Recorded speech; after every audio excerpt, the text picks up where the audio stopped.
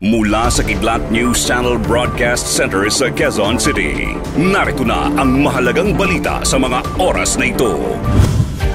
Kidlat News Updates.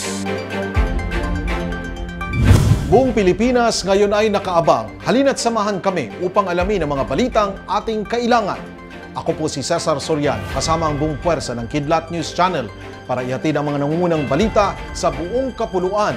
Ngayon, Hindi ako natatakot, hindi ako aatras. Ito ang diretsahang sinabi ni dating senador at ngayoy presidential candidate Ferdinand Bongbong Marcos Jr. matapos maharap sa petisyon na hinihiling ang kanyang diskwalifikasyon sa election 2022. Ito ay matapos magkaisa ang isang grupo ng mga biktima ng martial law na nagsumite ng isang petisyon na hinihiling nila ang diskwalifikasyon ni Marcos sa presidential elections. Saad pa ng grupo, si Marcos ay hindi karapat-dapat na makasali sa listahan ng mga kandidato bilang isang convicted criminal sa kasong hindi pagsumite ng income tax return noong 1995.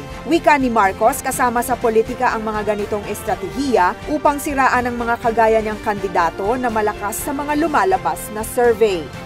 Nakatakdang maglabas ang Department of Health o DOH at Commission on Elections o COMELEC ng guidelines na kailangang sundin ng mga politiko at kanilang supporters sa pagbubukas ng kampanya sa susunod na taon. Ayon kay Health Secretary Francisco Duque III, patuloy ang pakikipag-ugnayan ng DOH sa COMELEC upang plansyahin ang health protocols sa kailangang sundin sa kampanya. Nauna nang sinabi ng DOH at COMELEC na ang ilang mga bawal sa mga nangangampanya ang pakikipagkamay sa mga tao, pagyakap at paghalik sa mga bata o matanda, pati na rin ang pagbibigay ng food packs sa mga mamamayan. Ilan lamang anya ang mga ito sa mga nauna nilang napagkasunduan upang maiwasan ang pagkalat ng COVID-19, lalo na sa panahon ng eleksyon. Ang Elections 2022 ang kauna-unahang gaganaping eleksyon na may pandemyang kinakaharapang bansa, kaya naman sinabi ng DOH at COMELEC na sumunod pa rin sa minimum health standards kahit pa anong okasyon. Nagbabala rin ang Interagency Task Force na mahaharap sa kaso ang mga kandidato na lalabag sa health protocols sa kanilang mga campaign sortie.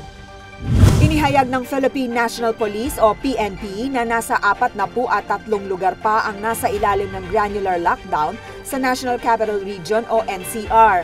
Ayon sa PNP Public Information Office, ang mga lugar na ito ay nasa 39 na barangay sa Metro Manila. Nag-deploy rin ng pambansang pulisya ng dagdag na police personnel at force multipliers sa naturang mga lugar na kinabibilangan ng 31 bahay, limang subdivisions, apat na residential buildings, dalawang kalye at isang purok. Samantala sa ating COVID-19 update, mas bumaba pa ang naitalang bilang ng mga dinadapuan ng COVID-19 sa bansa. Sa datos ng Department of Health o DOH ngayong Miyerkules, November 3, nakapagtala ng 1,591 na bagong kaso ng coronavirus disease. Ito ang pinakamababang naitala ng DOH mula noong buwan ng Pebrero. Nabawasan rin ang active cases na umaabot na lamang sa 38,014. May mahigit 4,000 naman ang gumaling ngayong araw o nasa kabuang 2,712,298. Ang total tally ng COVID-19 cases sa buong bansa ay umaabot na sa 2,793,898. Mahigit sa isandaan naman ang nasawi ngayong araw o kabuang 43,586 sa buong bansa. Para sa Kidlat News Update, ako si Rosaline Sinchonko, nag-uulat. at inyo pong natungayan ang mga headlines sa nakalipas na mga oras. Manatiling nakatutok para sa mga susunod na updates at breaking news. Ako po si Cesar Soriano, kasama nyo sa bawat pagputok ng balita.